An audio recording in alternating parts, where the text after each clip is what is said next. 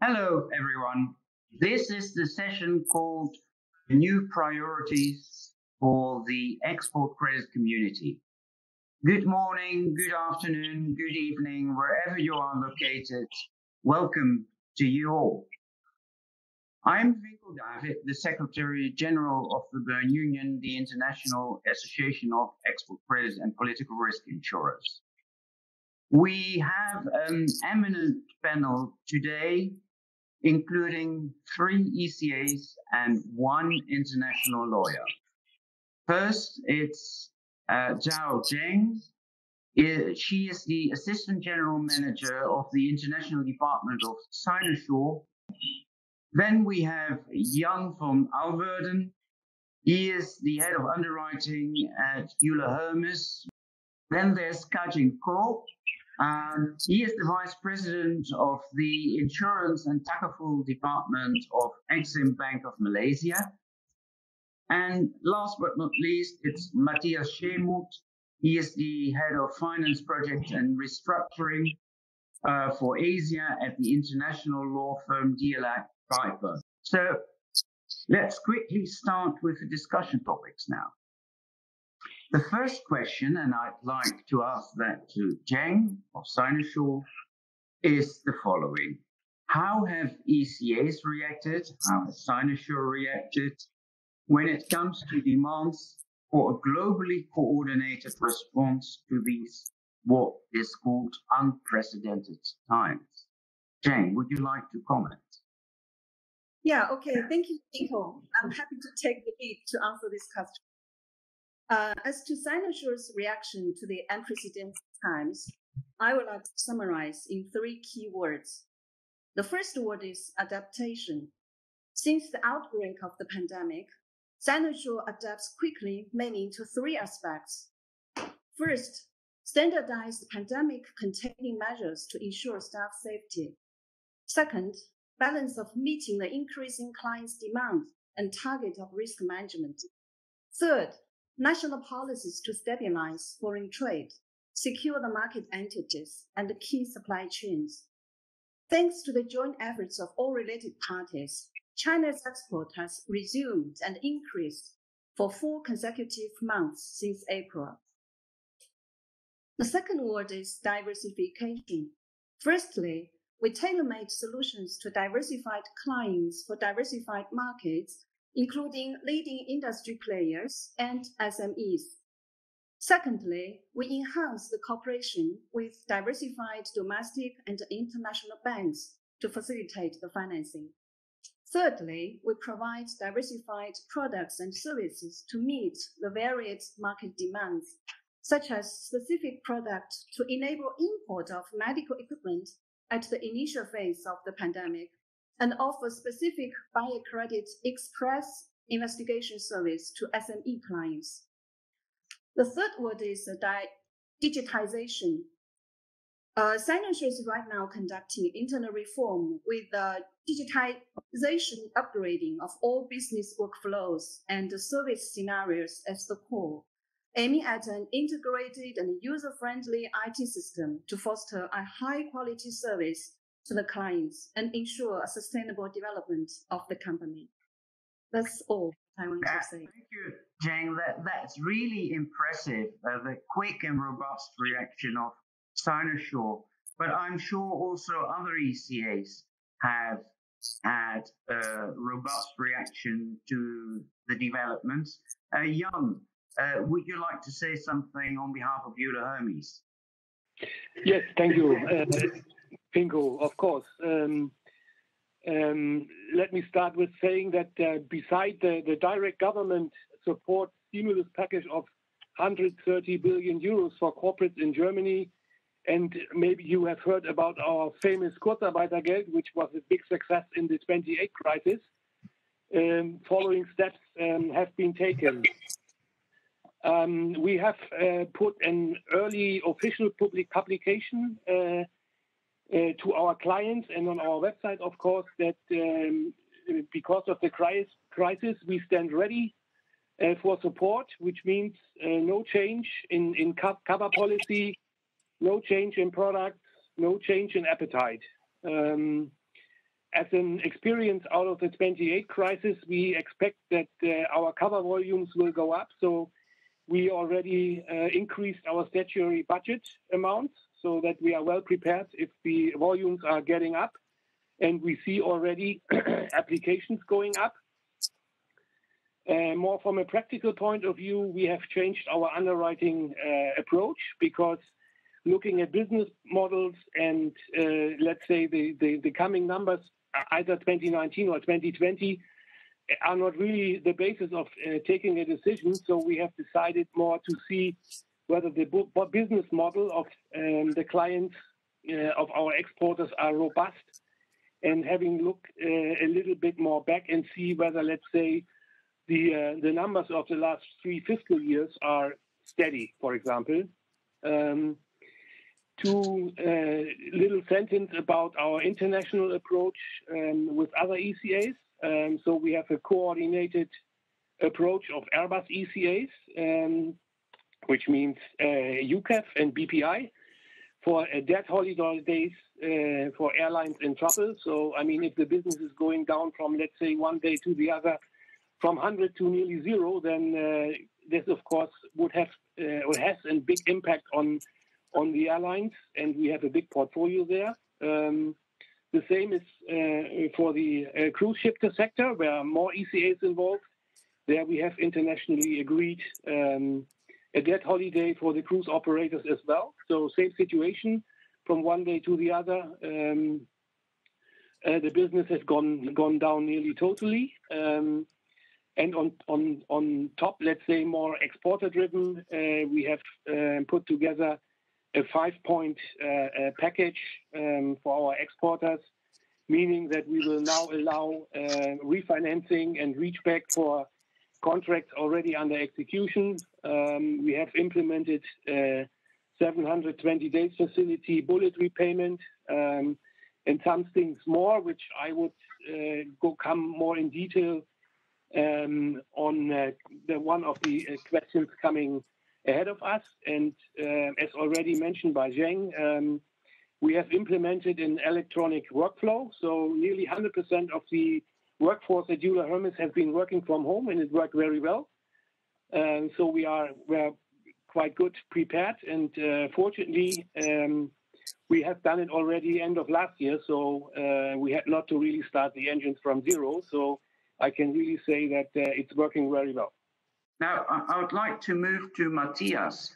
Um, you're not from an ECA, but as a lawyer, you work a lot with ECAs. What what do you see as the response of ECAs to to the different circumstances? Thanks, Vinco. Uh, just in addition to the uh, Corona 19 relief plans and response plans that ECAs are developing, I just wanted to touch, touch on maybe as a legal practitioner uh, some of the practical aspects and reactions that we're seeing. So I think uh, first message is we're clearly seeing that the ECs are continuing, businesses continuing. Uh, the deals that um, have have been on the on the table that are uh, going through this period are continuing, uh, and ECs are making you know significant steps to continue to execute and, and be there uh, as normal to go through transactions. We are seeing uh, ECs requiring uh, additional steps. For example, a lot of ECA-backed deals are requiring development of a, a COVID-19 contingency plan or some kind of business contingency plan. Uh, so that's new in addition to environmental and social uh, uh, plans and, and activity, action plans. There's also a focus in documentation, of course, on force majeure. so when we come to transactions, the ECs and the finance parties all focus on how COVID 19 force majeure could impact the supply chain and impact, uh, disrupt the supply or the output uh, that a business is subject to. So it does require additional legal analysis of the risks that might be posed, uh, including, for example, the force majeure, risks that are inherent in a transaction.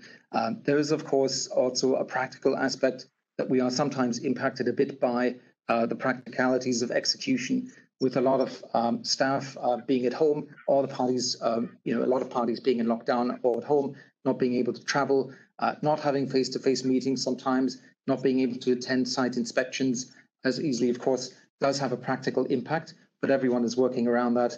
We're hearing the ECAs talking about digitization, and people are working on uh, you know, a virtual basis as much as possible. Uh, maybe some other practicalities where transactions have been ongoing. Of course, there are a lot of uh, asset classes that are distressed. There are a lot of transactions that are impacted. Uh, in that respect, a lot of the OECD country ECAs have put together policies and recommendations. Uh, we see those in practice. Uh, we see a lot of considerations of waivers being given. We've heard um, Jan mentioned already in certain industries like the aviation industry, you will see discussion of certain payment holidays. Uh, so again, some of those policies are coming through that there is an understanding that in certain industries there is an effect, uh, things are difficult. Um, so we, we are also seeing certain concessions being made to importers and exporters. There, there are some changes around, um, certainly that we see when we execute deals in practice. Uh, I think other than that, we are seeing seeing a significant response. Uh, I, I, just mentioned briefly, uh, COVID-19 response plans have been developed by numerous ECAs. We've heard a few here. Uh, we're also seeing, for example, a lot uh, with the um, Asian ECAs. The Korean Exim Bank has developed a fund, uh, in particular response, an economic development cooperation fund that has already been active in Africa in lending transactions. JBIC, the Japanese ECA, has been active uh, in supporting Japanese businesses that are affected overseas. Uh, they have opened an emergency uh, response window to the COVID situation for Japanese businesses and an overseas business uh, lending activity. So they provide loans and guarantees uh, through these windows on a fairly short term basis, fairly quickly to support Japanese businesses overseas that are affected. Um, others like China Development Bank, uh, again, we're seeing very active in lending, co-lending, uh, for example, doing transactions with other national banks in countries that are affected. Um, also in, in relation to um, certain industry sectors being very active in aviation and shipping and being a catalyst to supporting the private sector. Uh, so we're, we're seeing specific response plans and we're seeing a lot of activity on the ground in practice as well. There are certainly practical implications to bear in mind. Yeah, thank, thanks, Matthias. So a wide response, both from ECAs, from financiers, from governments. Um, I, would like now to focus a bit more on short-term business, which is the bulk of uh, the business uh, of trade anyway. Um, what measures have been taken to support short-term trades? Um, this is the question again to Young. Um, and has cover been extended to short-term trade receivables, what is the appetite for this, especially because what we see is that companies can get into difficulty now, certainly in short in the short-term trade area. Jan. I think short, short-term trade uh, is a very significant area. Um, many companies' liquidity position is impacted, in particular in the finance space. Um, we are dealing with, you know, suppliers, traders, um, and intermediaries who whose liquidity position is impacted in a market with you know price volatility, price uncertainty, um, additional counterparty risk, that kind of situation, uh, and extended payment terms. So as as the circumstances become more volatile or less certain, uh, increased liquidity is important, and therefore uh, the the ability to access supply chain financing and receivable financing continues to be significant. Uh, we see a lot of appetite in the market. We see a very significant volume of these kind of transactions for these reasons. Uh, actually, in terms of um, the financings we see, uh, talk talk to uh, other ECAs in a minute, but we, we see a lot of transactions in Asia with uh, involvement being supported um, in relation to, for example, receivables in the telecom sector, the tech sector, the automotive sector, the particular sectors where the supply chain uh, and distortions in the sub- supply chain uh, can be supported by finance and evened out, where we're seeing you know significant uh, transactions. And on a lot of those, we, we do see Sinosure uh, being involved and playing a role.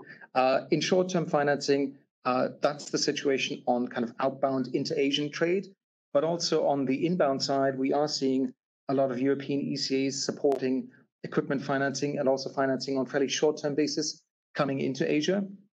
So we're seeing a lot of the European ECAs supporting business, for example, uh, significant volumes into China with uh, Euler Hermes, and Jan will talk to that, Finnvera, uh, and, and BPI France and others providing cover for eligible equipment. Um, so we're seeing a continuous flow of those deals. Um, also interesting, just to mention, we are seeing the private sector and some multilateral agencies um, coming together to provide uh, new initiatives in this situation. So, for example, there is um, a, a, new platform that ADB and uh, HSBC private sector are putting together uh, to develop a supply chain financing program, a, a $1.2 billion program uh, as of last month. So again, there are a number of examples where uh, we see significant momentum. There's definitely a lot of appetite in this market that we can see, Vinco. Okay, yeah, thanks, Matthias, on this uh, com- on these comments to short-term trade, and I- am happy you included both private banks and multilaterals here because they also play an important role. Um, I'd like to turn to Jan now from what Euler Hermes is doing in the short-term area, um, the coverage of uh, trade receivables. Uh, Jan, what is Euler Hermes's uh, experience and response here? There's two two sides, let's say, the private side of Euler Hermes and the government side of Euler Hermes. Um, and uh, to some extent a combination of both. So, in order to keep uh, underwriting capacity with the private trade credit insurers at uh, high limits, the German government has agreed a rescue shield uh, and signed a reinsurance agreement, which is valid until the end of the year, in order to uh, make sure that the private trade credit insurers are keeping in the market. and this is um, uh, one uh, one step, and the other is that um, uh, the German government has seeking very early green light from the EU in Brussels to underwrite short-term business in OECD countries in order to fill the gap. and as I said, to um, Uh, to make this gap not too wide, uh, there was this reinsurance agreement with the German government and the private trade credit insurers. Uh, so we are filling then the gap that the private market cannot uh, really do. Um, and I can tell you the demand is overwhelmingly high. Still, there is a uh, reinsurance agreement. Um, we have seen very high numbers of applications, um, and uh, we have put together a task force uh, to underwrite this business by recruiting really colleagues all over the organization and um, different to 28, um, or sorry, different to 20, uh, different to 2008, uh, where we had a lot of time to prepare because the decision of the EU, EU took longer. This time we had to act, react really quickly because um, the green light from Brussels came very quickly, and um, so we have really uh, to cope with this demand. Uh, and are still coping, trying to cope with it. Um, and uh, and again, here helped uh, that we have implemented uh, already an electronic workflow and uh, have here simplified our processes as well, and are in discussion with the government really to um, to simplify it even more. So um, this is uh, uh, what uh, we have been done on the on underwriting short-term business in OECD countries. Um, and we see a, an increasing demand on all other countries' uh, short-term demand as well. So it's um, it's very, very, very demanding on our side, really, to to cope with the with the demand coming from the industry. Thanks, Jan. And it's, it's good to hear how private credit insurers and ECAs work together to continue serving the exporters. Now, Jane, do you want to add anything from the Sinosure and from the Asian perspective? Yeah. Uh, short-term trade insurance is actually one of Sinosure's uh, main products from the very beginning. As uh, China's export is uh, predominantly consuming goods and uh, light industrial products. In the past months, our covered amount of short-term trade remained stable. So there are four points worth mentioning. The first is uh, closer cooperation with both policy banks and commercial banks to provide joint solution to exporters, especially the leading industry players. Sinosure's short-term policies act as uh, crucial collaterals for exporters to gain trade finance. Uh, second is a swift response to the pre-shipment risk mitigation demand pandemic causes a higher pre-shipment risk protection demand to cover the buyer's cancellation of contracts or refusal to take the delivery. With the pre-shipment risk coverage, the exporter's manufacturing risks and the production costs can be covered.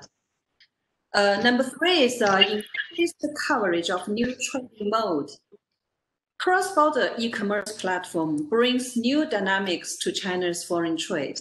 The pandemic is greatly boosting this new mode. We are taking inno innovative measures to support this new trend, especially the leading e-commerce players. The last point I want to mention is the strengthening of risk management. Risk management is the key to ensure long-term financial sustainability. So a lot of measures are in place to reduce the concentration risk and monitor the post-underwriting risk in terms of the short-term business. Risk alert information is frequently shared with clients. Risk screening and the limit adjustment is strengthened for key sectors. Thanks, Zheng.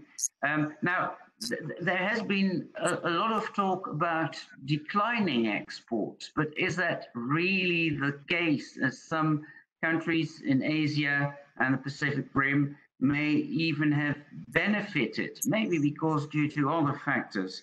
Uh, Kah Jin, um, where has there been growth lately and what has contributed to this growth? When we look into the COVID-19 pandemic, uh, certain ASEAN countries uh, would have actually benefited from it. But I think that uh, I, would look, I would like to look at it from a uh, segment sector rather. So I'd like to give you an example of what the uh, country in Malaysia is doing since the uh, COVID 19 pandemic, um, in terms of the SME companies in Malaysia, they've actually announced uh, ventures into manufacturing of gloves, test kits, personal protective equipment, vaccines, and ventilators. I mean, there is a whole value chain system or ecosystem in the particular country itself, but basically, the COVID 19 has actually uh, hastened the process and subsequent has also hastened the digitalization of the traditional SME markets.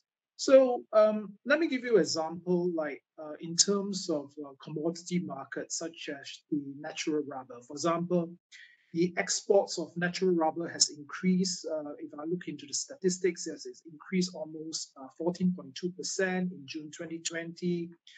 Uh, so this, these are something which uh, the, the, the exports growth we, we see a lot. Main export destination, our usual suspects is China.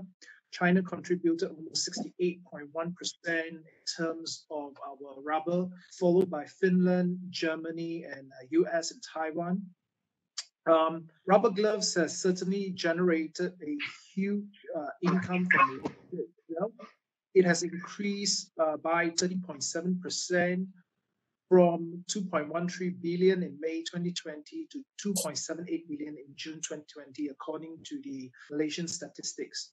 So in terms of uh, the pandemic shift, it certainly has part a reshuffle in terms of the Asia largest stocks with the likes of technology and healthcare. That's something that uh, uh, points to ponder about the changes in terms of the COVID-19. Um, just to give you an example, in terms of the equity benchmark, uh, glove manufacturers' uh, equities has surged uh, from 440% to up to 1,100% this particular year. And um, a lot of my colleagues would ask me, what, what are the underlying factors? What contributes to this growth? I think that the SME in Malaysia itself has actually rebounded quite fast uh, taking into account in terms of what happened uh, way back from December until now uh, from the Wuhan uh, virus coming in. It's very much fear driven. Uh, I think uh, as society grows, it is very much health driven and anticipation driven. I think um, this particular industry would thrive even if a uh, vaccine is found, I think there are many more uh, opportunities for smaller countries or even emerging ASEAN countries to tap on this. Uh, certainly, I've been seeing uh, certain uh, transactions and even certain talks that uh, SME countries going to other ASEAN countries to basically leverage on this. Thanks, Kah Jin. Jen, you want to add something to this? In the first half of 2020, uh, we see China's uh, merchandise trade uh, declined by 3.2% year on year, but uh, this is much better than expected. Uh, China's trade with ASEAN countries actually increased by 5.6% and reaches 15% of China's total trade volume. So ASEAN countries is nowadays becomes the largest trading partner of China, with Vietnam and Thailand ranking top one and two respectively. So the factors driving the growth are first, we think is the regional economic integration facilitated by the ASEAN Free Trade Agreement, which has been enforced during for past 10 years. Uh, China and ASEAN countries co-build complementary competitiveness along specific industry chains. In the first quarter of 2020, China's import from ASEAN countries increased by 8% among 8% among them, import of semiconductor products grew remarkably by roughly 26%. The second factor we think is the joint building of Belt and Road Initiative steadily goes up. China co-worked with many ASEAN members to build industrial zones, transportation infrastructure, etc., which materially benefiting bilateral, bilateral trade and regional economic development. The last point, as I mentioned, is uh, the cross-border e-commerce greatly China's consumption potential on local specialty products of ASEAN countries, like coffee from Malaysia, durian from Thailand, and many others. So I, I, I firmly believe that uh, ASEAN countries and China's trading will continue growing with the coming signing of the RCEP the Regional Comprehensive Economic Partnership to further light up the future of this uh, most populous and vibrant, vibrant zone. I, would like to focus on what Jan has already said from a German perspective, and that is the following. Um, the market is served by both ECAs and private insurers, um, sometimes also multilaterals. Um, what, would be the right mixture of serving exporters, uh, both from private insurers, ECAs, others? Uh, Matthias, would you like to say something about that? How, how exporters are best served by what type of institutions? Sure, sure, Vinco. Uh, we, we often see deals in practice that have a mixture. Uh, what is the right mixture? And you know, obviously, one, one needs to look at the industry segment. One needs to look at the particular risk allocation in a deal. It's it's all about risk allocation in the end and who's best placed to bear it. Uh, but we we see both a, a convergence of ECA cover and uh, private PRI cover or, or, credit insurance cover in many transactions involving trade and commodities in particular, and for a number of different reasons. But just to flag a few, I mean, for one, uh, there may be uninsured loss or uncovered loss. Uh, so commercial banks coming in wanting to make sure that any uninsured, uncovered loss is is is indeed covered off uh, somewhere else. Uh, insufficient EC eligibility content. It may be that um, there, there's insufficient procurement, and therefore a transaction may maximize its lending capacity. So we often have transactions that may have lending limits that may be able to stretch and increase their or maximize their lending capacity. Uh, another aspect would be uh, from a commercial bank perspective, it may be that the commercial bank would otherwise reach lending limits. Uh, so having having the uh, credit insurance in, in in place as well may stretch and increase lending limits on transactions or particular names that may otherwise limit uh, or impact on a transaction. Certainly, also there can be an impact or favorable impact on pricing and, and interest rates for a transaction. And maybe uh, least, uh, not not last but not least, one one more point to make. Um, there, there are, of course, uh, weaker credits as well, where we often find the insurer can come in or the insurance cover can come in to uh, credit enhance a transaction. So, in particular, when you're dealing with sponsors or underlying uh, participants in a transaction where there's a credit risk borne by that particular party, it may be that the equity commitment to a transaction or the, the sponsor could be credit enhanced uh, by means of this kind of separate cover uh, that isn't necessarily the product covered by the ECA. So there are a number of different reasons and kind of combination of reasons we see why the two live, you know, together. Yeah, thanks, uh, Matthias. Um, uh, Kah Jin, how is that from your perspective, the, the best mix to help exporters? Uh, very similar to to what uh, Matthias has uh, actually mentioned. But however, I just like to stress uh, the difference between when we talk about private insurance and uh, export credit agency. Uh, in a nutshell, private uh, insurers are much more commercial and profit driven, whilst a export uh, credit agency would very much be mandate driven. So it really depends on what the uh, country or any ASEAN countries would actually allocate the budget for the particular year. But I think in a nutshell, I think that um, in uh, Malaysia itself, it's more prevalent to the PRI market, the political risk market. In terms of the short-term uh, credit uh, proposition, we still have the sufficient capacity. There are times that uh, we would actually reinsure out. Uh, those are essentially the left pocket and the right pocket in terms if it is a banking proposition and it is something that uh, we are not very comfortable. Certainly, reinsurance do come in. It comes in either a treaty form or a facultative uh, form. I think in uh, Malaysia itself, uh, in terms of collaboration, um, there were times that we use this from a perspective of a fronting arrangement, very similar to the other European countries. there could be certain issues such as capacity issues, sector issues, basically a very much uh, selling off the risk, uh, or actually sharing the risk within the the other uh, private insurers. I think what works for us um, in Malaysia perspective is uh, we look into the political risk uh, side in terms of the very advanced uh, development of the PRI market. Uh, we do take note that uh, some Lloyd's wording or some syndicated wordings could be actually beneficial. And we actually like to use uh, a complementary between several private insurers or sometimes even collaborate with uh, several ECs on a particular role. So I think in uh, conclusion, uh, despite concerns that some would mention that ECAs crowd out the private sector, public and private insurers have a large role in terms of a complementary role. So that's my take on it. Yeah, thanks, Kah Jin. Indeed, it's the complementary role of ECAs and private insurers that that continue helping exporters in in these times.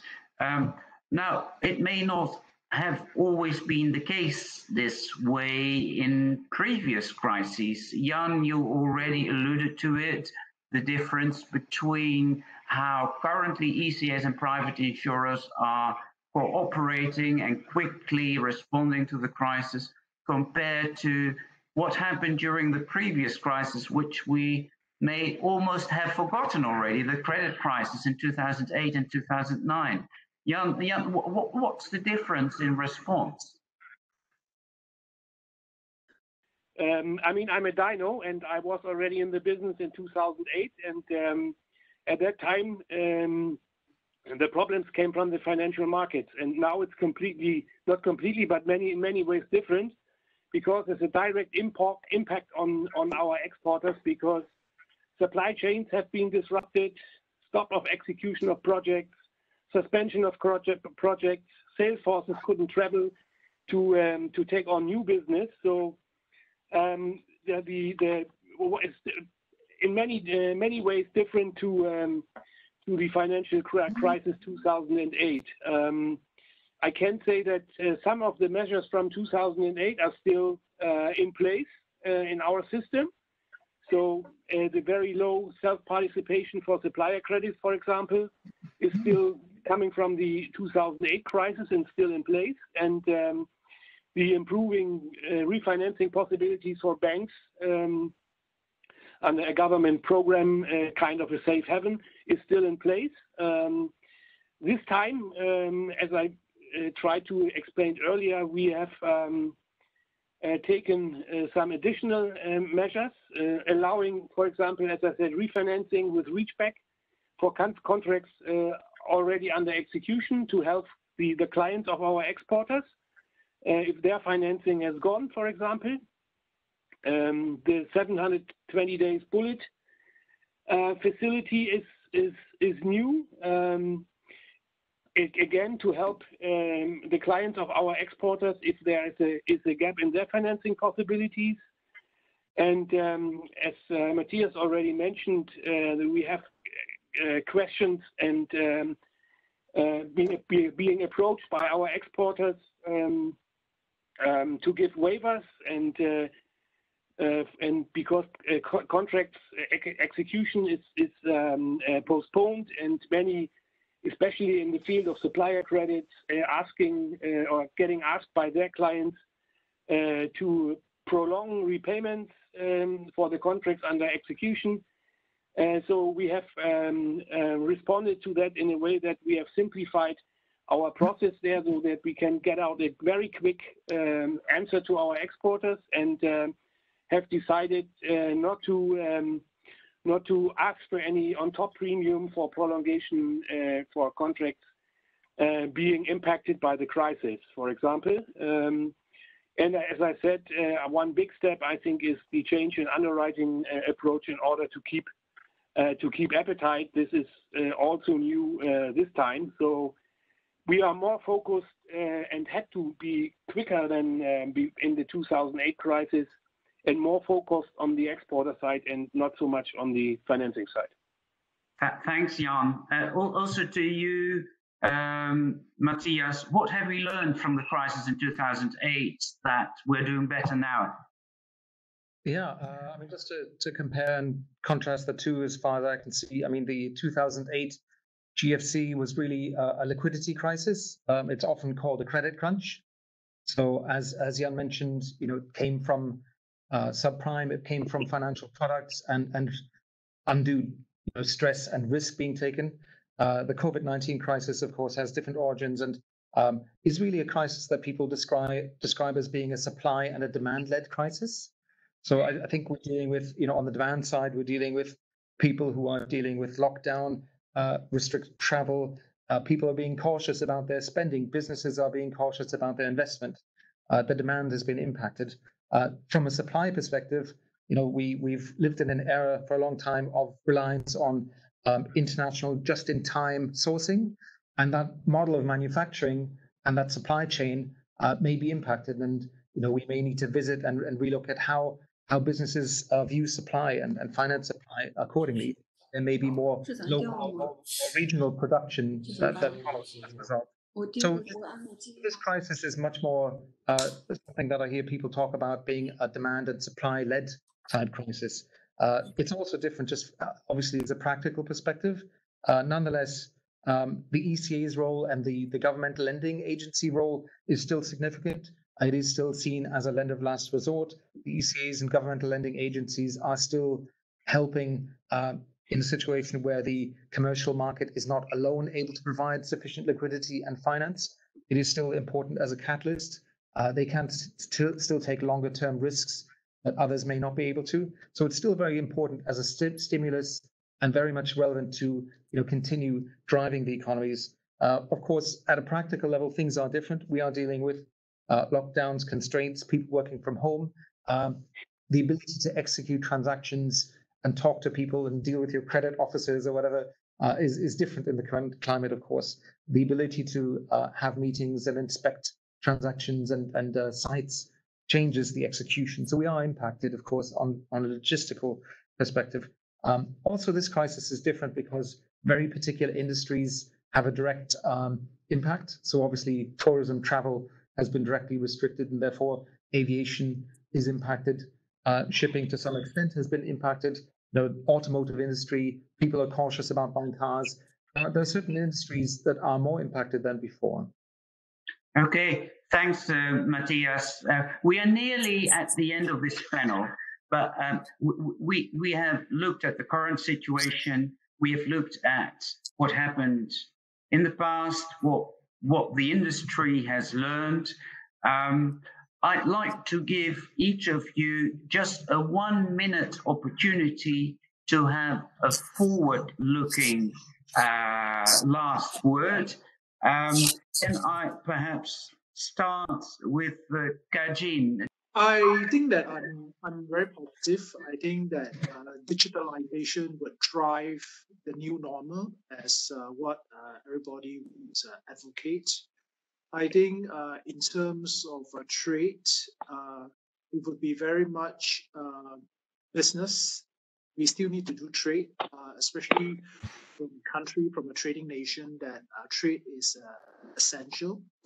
I think in terms of the evolution of trade, we need to find a a middle ground whereby you could actually look into terms of doing business while sustaining uh, or keeping track with the current situation in terms of the pandemic. Um, this is one of the example.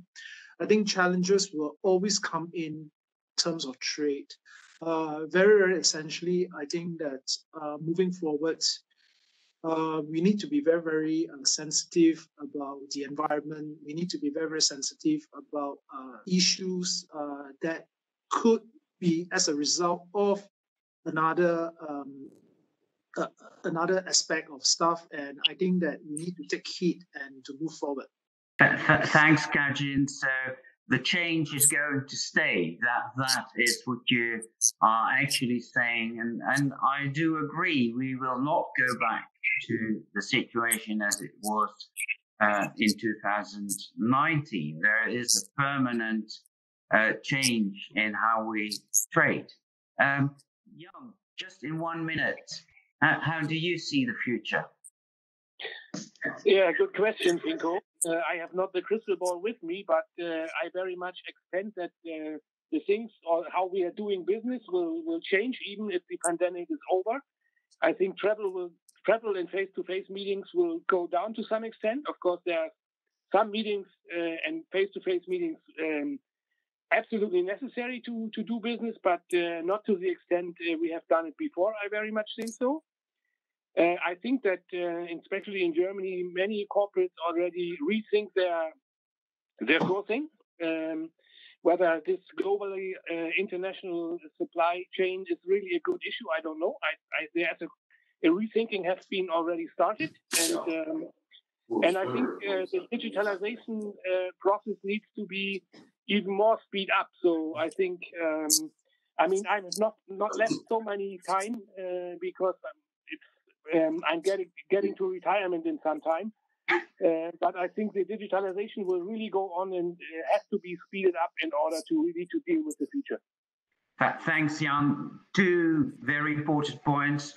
The digitization or the further digitization in our industry and trade in general, and perhaps shorter supply chains. Uh, Zheng, do you want to add anything on your future perspective with just a few words?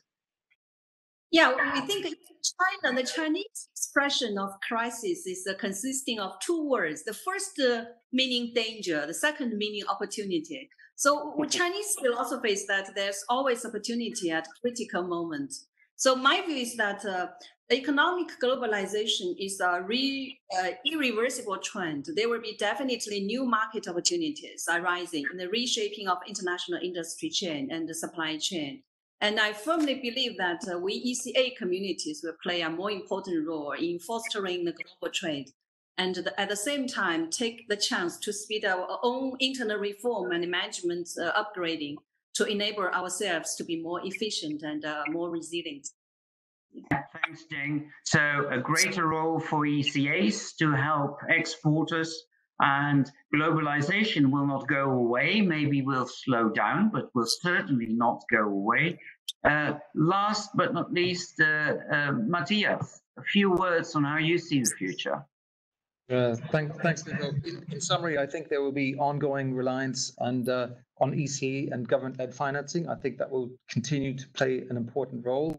In particular, while I think there may be some continuing uh, ongoing constraints within commercial lending markets. I think also we need to get used to more flexibility generally, more flexible working, but also more flexibility around a number of different things, such as the, the products that we look at. In that respect, it'd be interesting to see in the future how ECAs uh, grapple with new products and look at, for example, the bond markets. Uh, we also talked about uh, cooperation, enhanced cooperation between the ECAs. I think that is important. We've talked about And I agree with everyone, digitization. Uh, we are seeing digitization very much in trade finance. We're seeing a lot of uh, platform transactions being done in the supply chain. Uh, I'd love to see that technology and, and that way of thinking being developed more in the ECA community as well. Thanks, Matthias, and thanks to all of you for this great panel. We have discussed a wide array of topics uh, that are affecting trade, trade finance, trade credit insurance, projects. Um, you have tried to look at it from many different angles. Just a few conclusions I'd like to draw.